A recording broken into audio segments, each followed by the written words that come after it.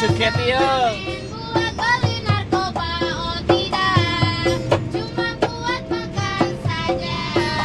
Ha ha ha.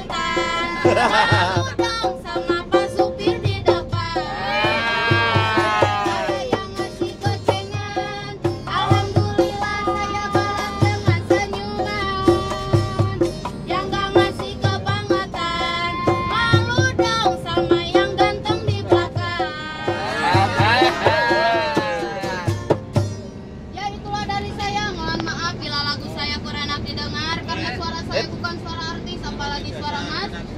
Cukup sekian dari saya. Wassalamualaikum tanggap aja tanggap aja ojo leh medun. Ojo leh medun deh